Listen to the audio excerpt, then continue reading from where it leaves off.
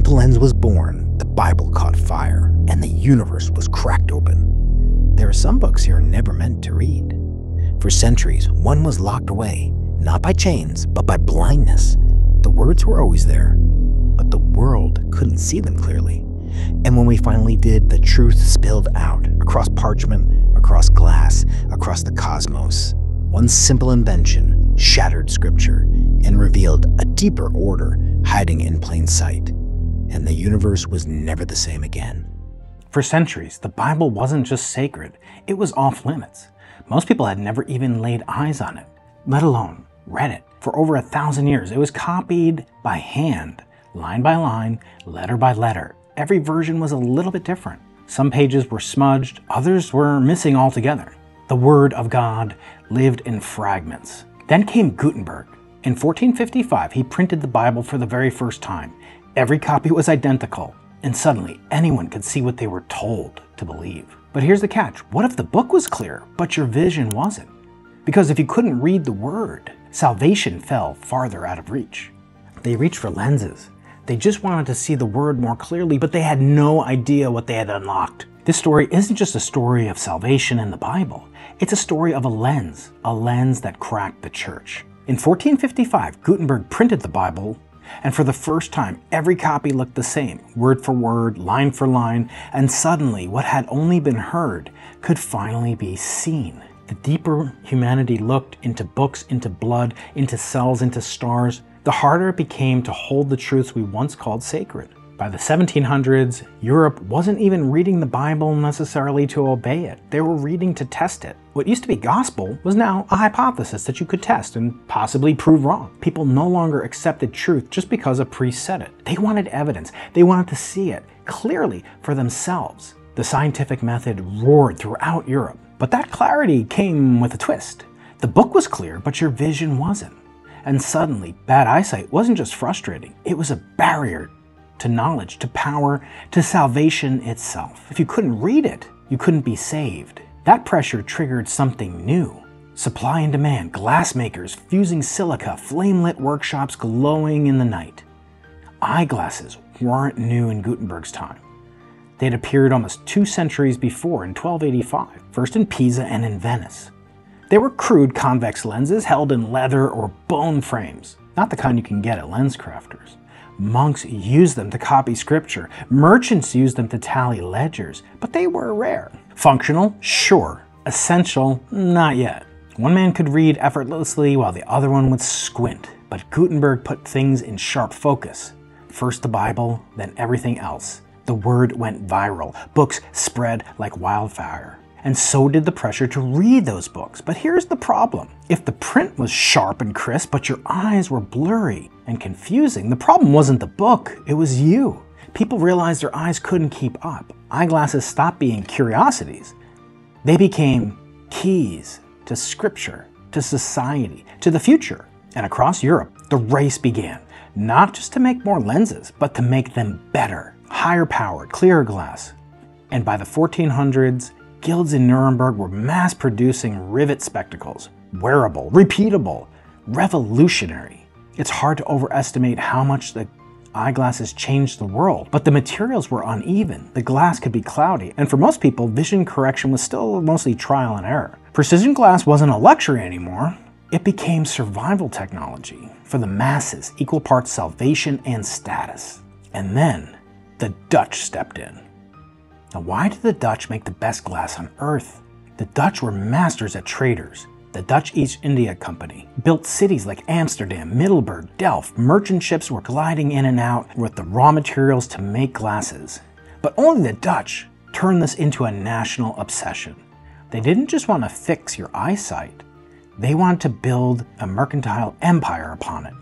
So by the early 1600s, these cities like Amsterdam weren't just trade hubs, they were optical R&D laboratories. And here's how the Netherlands became the Silicon Valley of lenses. Most countries that wanted to produce glasses had to work with whatever sand and soot they could find around. But the Dutch had the East India Company, the world's most powerful trading company, and that gave them worldwide access to Bohemian crystal, to Venetian soda ash, to quartz sand so pure they needed almost no refining whatsoever. Liquid glass would swirl in huge melting pots, sand. While others prayed for clarity, the Dutch could engineer it, controlling thickness, purity, and strength. They were building optics with military grade precision, and the mass literacy that was brought on earlier created mass demand for their products. In most of Europe, salvation was preached in Latin, but in the Netherlands, Calvinism taught that you had to seek salvation yourself through inquiry, and that meant reading, learning, and developing your own ideas. Suddenly, scripture wasn't ceremonial, it was personal. And if you couldn't see, you couldn't read. And if you couldn't read, well, you know the rest. Reading became an almost spiritual duty, and it had a spin off event into research into the heavens itself and the questioning of what that very first Bible really told us about the scientific structure of the universe. In the Netherlands and places like Delft and Middelburg, something rare happened. Craftsmen lived together and worked within shouting distance of each other. Glass blowers right next to lens grinders. Instrument makers ricocheting ideas from one bench to another. One guild would improve clarity, another would push on magnification, Another would push on frame technology and stabilization. And that's where these workshops led to legends like Hans Lippershey, who filed for a patent in October 1608 for a lens that could pull distant objects near, a telescope, a perspective tube. He wasn't the only one, but the Dutch paid him as if he was anyway, and his telescope took off. The Steve Jobs of the Silicon Valley, of the Netherlands of the 17th century. Meanwhile, Zacharias Janssen and his father were stacking lenses, testing what we now call the compound microscope, made of multiple lenses. The records, like the lenses before them, are somewhat hazy, but something world changing was brewing. The microscope, the telescope, suddenly Dutch lenses weren't just correcting vision, they were extending our senses outward to the stars and inward to the building blocks of life itself, and what they revealed was astounding and threatening as well. While much of Europe was shutting its doors, the Dutch opened theirs. They welcomed Jews, Huguenots, and anyone with radical ideas, like a young man named Baruch Spinoza. At 23, his own synagogue had excommunicated him for asking the wrong questions. Questions like, what if God wasn't a man incarnate? Well, what if God was part of the natural order of nature? What if Scripture was a historical document, not the divine word of God? You wouldn't need to ask priests and rabbis, you could seek it yourself. By day, Spinoza had a trade. He could grind some of the most precise lenses in all of Europe, praised for their minimal spherical and chromatic aberration. But by night, he worked on the blueprints of secular philosophy, a philosophy of nature that would later influence the theological beliefs of one Albert Einstein three centuries later. But money talked, and in the Dutch Republic, owning a telescope wasn't just about science, it was about status, prestige, a conversation piece with cosmic implications. Because to look through one was to risk something your church or synagogue or your worldview might not tolerate and you might not survive. People asked as they peered through the lenses, what else is out there? What are we a part of? What are we made of? And who, if anyone, is rightfully at the center? In that moment, the lens wasn't just a tool, it was a dare. Antoine van Leeuwenhoek wasn't a scientist, he was a draper, a fabric maker. But in the back of his shop, under a flickering flame, he spent hours grinding tiny lenses, each no bigger than a pea, a lentil for which the lens is named. They were for seeing smaller things, not distant things. He built simple single lens microscopes that could magnify up to 275 times, far sharper than any compound microscope of that era. And in it, he could zoom into droplets of water, see into sperm cells and bacteria, and capillaries and human veins under glass. He pointed them into rainwater, into blood, into saliva, and what he found rewrote the rules of reality itself. Microscopic life was teeming in every drop.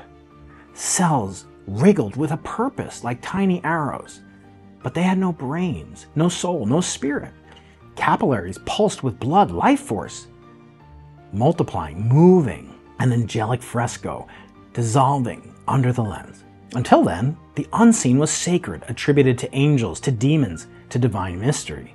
If it was invisible, it was unknowable. You were forbidden to ask about. But Leeuwenhoek shattered those ideas. He showed the unseen wasn't mystical, it was microbial. It had form, it had movement, it had purpose seemingly. One thing was for sure, it was real.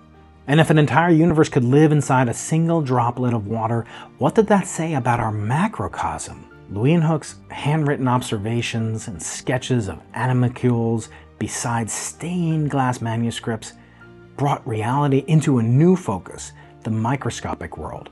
But there was a bigger revolution about to come, displacing humanity away from the center like a giant lever. We weren't divine observers, we were part of the system itself.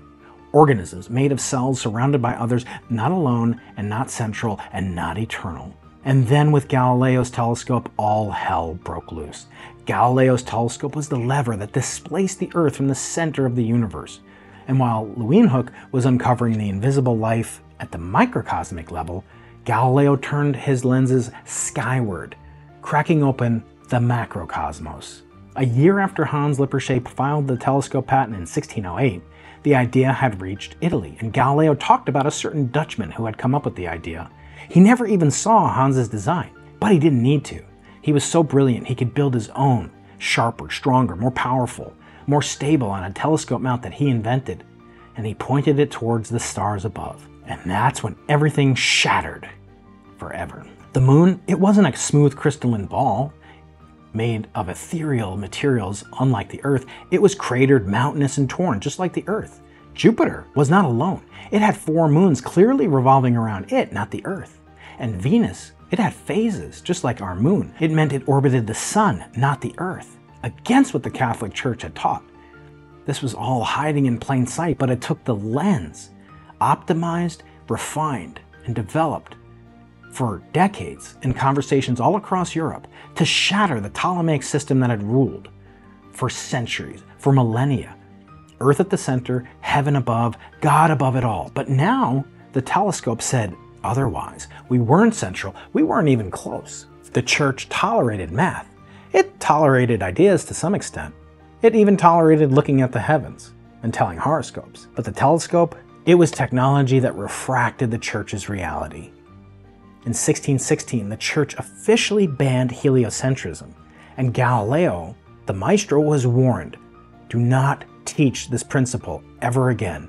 You may research it, you may write about it in Latin, but do not teach it to the natives in Italian that they could understand themselves. But Galileo didn't stop. In 1632, he published a dialogue concerning the two chief world systems, Ptolemaic and Copernican. It was a bold defense of Copernicus's heliocentrism, and it was a direct shot at the church's authority. The backlash was expected and immediate. In 1633, he was tried for heresy and found vehemently suspect of it. He was forced to recant at knife point and sentenced to lifelong house arrest. But Galileo kept watching. He kept writing. He kept looking and he kept making new discoveries, like the discourse, which described laws that we now ascribe to the first application and writing of the scientific method. This was too dangerous to publish in Galileo's native Italy or any Catholic country. So he snuck it to the Netherlands, where it was published by Elsevier, a journal house that still exists to this very day. It was published in 1644 the confluence of technology, craftsmanship, and capitalism led to the ultimate understanding of what we're still searching and looking forward to this very day. How did it all begin? What is it all made of? And how, potentially, may it all end? Four centuries later, we're still looking for these answers. Today, the lenses are sharper, the questions deeper, and slightly less dangerous. Except for maybe your tenure prospects. At 5,200 meters above sea level in Chile's Atacama Desert, the Simons Observatory scans the oldest light in the universe, the cosmic microwave background radiation, searching for telltale signs, not of planets, not of stars or cells, but of signals from the inflationary origin of the universe, just a trillionth of a trillionth of a trillionth of a second after the Big Bang. It's not about proving Scripture wrong. It's about finding what came before Scripture even existed. This is the scientific tradition carried forward, the same mission, but with million dollar precision. The microscope, the telescope, commerce, the printing press, the Enlightenment, Not to disprove God or belief itself, but to look past it, past Genesis, past the spiritual, into the scientific. Beginnings, expansion, collision, entropy, the nature of consciousness and time itself. And still, just like the 1400s, we use magnificent lenses to see more clearly.